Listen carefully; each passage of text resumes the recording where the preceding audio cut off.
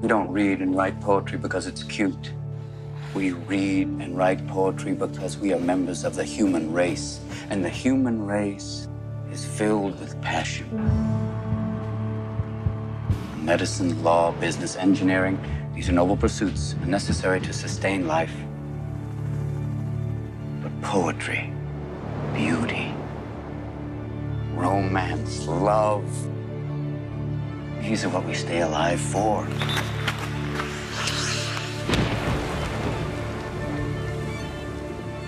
To quote from Whitman, O me, O life of the questions of these recurring, of the endless trains of the faithless, of cities filled with the foolish.